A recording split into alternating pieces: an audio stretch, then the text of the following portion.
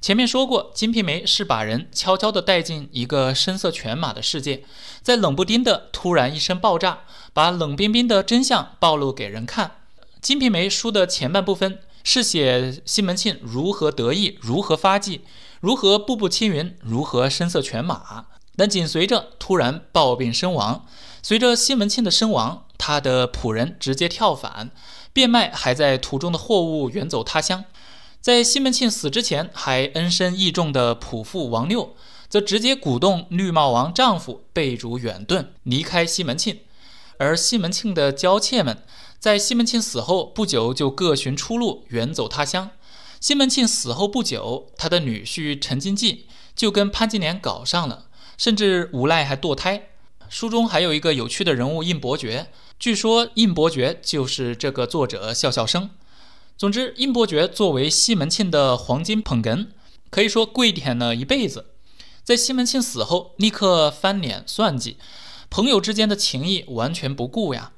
可以说，《金瓶梅》书中的亲情、友情、爱情全部靠不住，没有忠，没有义，没有孝，没有恩情，只有种种恶。从庙堂之高的蔡京到江湖之远的胡僧，从富贵逼人的主人主妇到窘迫可怜的妾仆僧尼，无人不是在作恶，无人不是在受恶之害，人人处处都在为色欲、金钱两件事而撕咬。在书的后半部分，庞春梅算是为数不多的闪光，她为主人潘金莲收尸祭奠，她为老情人程进济谋划生路。她为摇摇欲坠的西门府提供助力，然而她自己却也是沉溺在情色之中。在丈夫为国冲杀的时候，她与仆人通奸，最终死在了男人的肚皮上。所以《金瓶梅》的开篇这样写道：“单说这世上人，营营逐逐，急急巴巴，跳不出七情六欲关头，打不破酒色财气圈子，到头来同归于尽，着身要紧呀。”所谓豪华去后行人绝，箫筝不响歌喉咽。雄剑无威光彩沉，宝琴零落惊心灭。欲借寂寞坠秋露，月照当时歌舞处。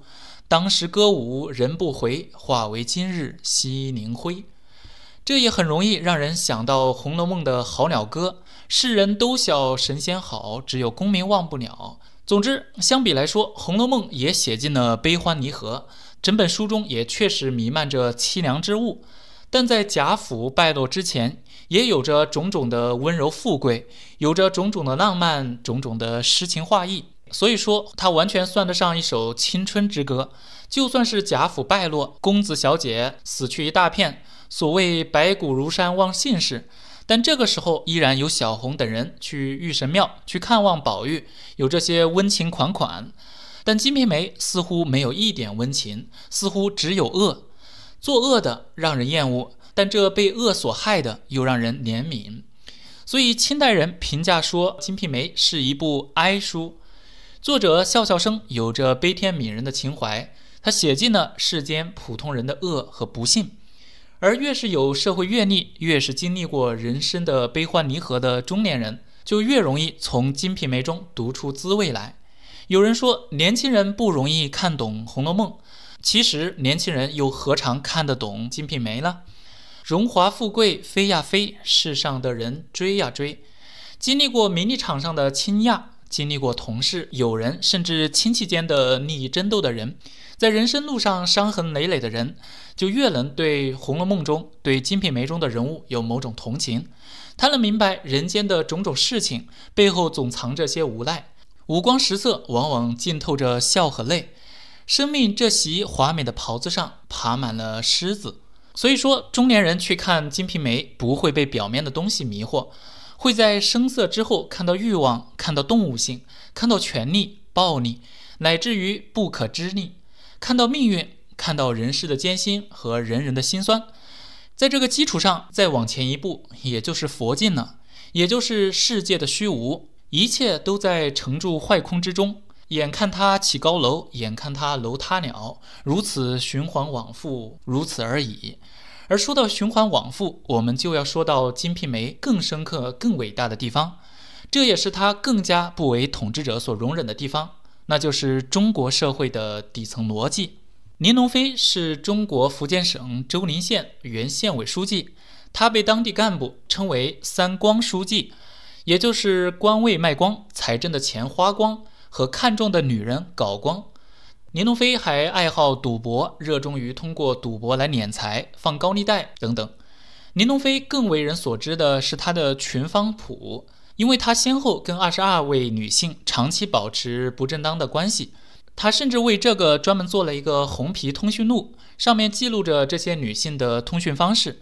林龙飞得意地把它叫做“群芳谱”。在二零零二年五月二十二日，林龙飞在福州的一家酒店举办了群芳宴，他让这二十二位身着华服、美丽妖娆的女人在包房里彼此见面。在这期间，林龙飞还宣布，今后每隔一年就举行一次群芳宴，这其中还要设置年度佳丽奖。不过，这个群芳宴搞了两届就结束了，这是因为到二零零四年他的犯罪事实暴露而被审判。在介绍文革荒诞事这期，我们介绍过官员徐其耀，他呢是保养情人最多的一位官员。徐其耀曾经担任江苏省的建设厅厅长。徐其耀这个人很有意思，据说他最喜欢两样东西：钱和女人。如果你把这两样都给他，他就什么都能做。徐其耀不仅敢做，也敢说。荒淫无度的他，不仅不隐瞒自己的无耻行径，有时甚至故意标榜自己的能耐。徐其耀包养的众多情人中有一对母女。有一次酒后，徐其耀不仅当着众人的面炫耀自己的一箭双雕。甚至还将这母女俩的床上功夫进行了一番比较。我们再说一个例子：湖北省天门市原市委书记张二江，他呢不但长期包养情妇，而且嫖娼成性。不管他到什么地方出差，他会公开指使身边的工作人员到街上转转，有好的就带回来。当代中国公务员的例子，我们不妨列举到这里好了。中国落马的老虎苍蝇，哪一个不是西门大官人呢？他们都是从普通人开始，甚至在前期也都是有作为、有进取心的官员。但随着权力越来越大，也就开始卖官、花财政的钱和搞女人了。这些官员在官场、在名利场中摸爬滚打，渐渐摸清了中国社会的底层逻辑。《金瓶梅》第五十七回中，西门庆这样说：“听说就是如来佛祖和阴间阎王，也不过是要钱嘛。”我只要肯花钱上下打点买通他人，那么我就是强奸嫦娥，轮流和嫦娥发生性关系，就算是偷王母娘娘的女儿，用铁链把她锁着，也不减我泼天的富贵。《金瓶梅》第三十回中，甚至把话说得再明确一点，说坐上位子的人是靠徇私舞弊结党营私。《金瓶梅》的主角西门庆最初只是个小本经营的个体户。然后凭着亲家和财富，利用官场的潜规则，一步步成长为地方巨阀。他是在人生巅峰的时候突然暴病身亡，死的时候家财万贯，官商一体，身居要职，而且广结人脉。那么，假如说西门庆并没有死，他下一步那必然是成立商会，把持一方了。再假如他更进一步，替天行道。说不定他就是另一个王朝的开创者呢。所以说，《金瓶梅》看似是黄色小说，实际上它却写进了中国社会的黑金逻辑。它写到了一方势力的崛起，在平静的水面之下早已暗流涌动。这种暗流会让专制统治者慌张恐惧，因为假如天下是一个人的，那么谁抢来谁就成了皇帝。天下就成了一家所有，人民就成了这一家的奴仆而已。所以，当权者只需要做一件事，那就是想尽办法防止别人来抢去。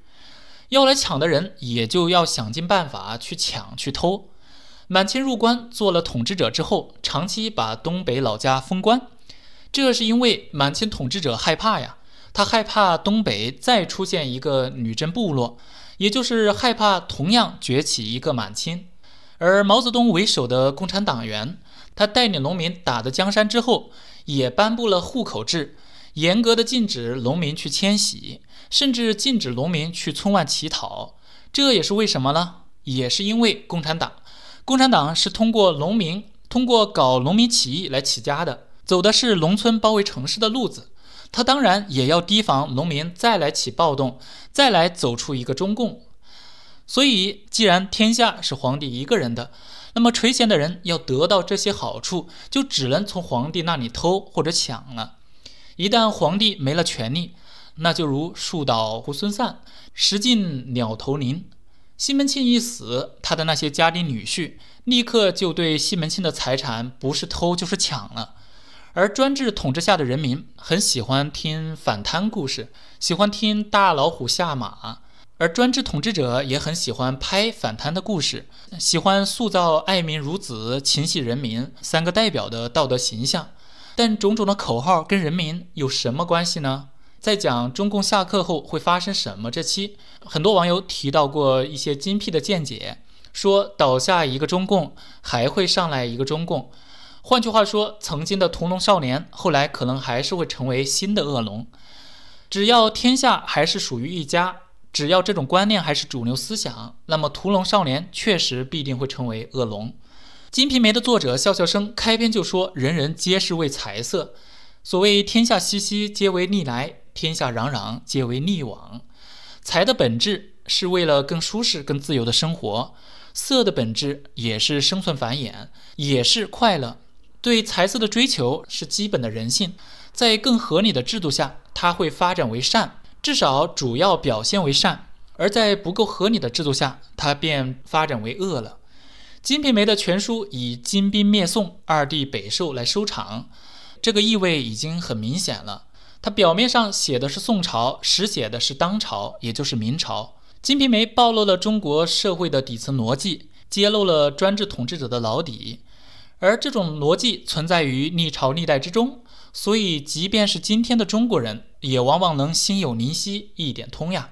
毛泽东曾经建议中国的高官、中国的封疆大吏都要读一读《金瓶梅》，所以当时内部发行了一套《金瓶梅》。毛泽东希望干部们读一读这本小说，得到些启示，得到些警示，类似于现在的党风廉政建设。可是制度不变的话，一本书又能起到什么作用呢？今天被查的干部，昨天还在台上讲防腐倡廉建设；今天下马的高官，昨天还在高喊不忘初心，从人民中来到人民中去这些口号，高喊爱国的人，结果财产和家人早已转移到海外，润的比谁都快。一方面是西门庆这样的人疯狂索取女色，同时是这个社会上许多地方光棍盛行。从明代的金曲之名无妻者半，到清代的十人之中。八无家室，再到当代的中国，官员疯狂索取女色的同时，也是中国的光棍村和铁链女。从关汉卿的为善的受贫穷更命短，造恶的享富贵又受严，再到北岛的卑鄙是卑鄙者的通行证，高尚是高尚者的墓志铭。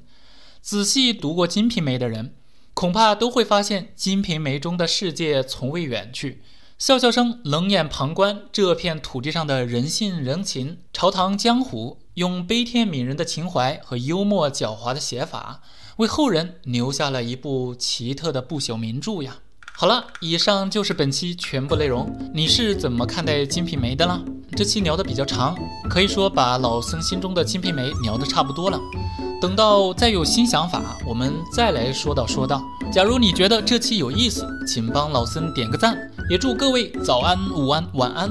感谢各位的收看，用轻松的姿势长点知识。我是老僧，咱们下期再见。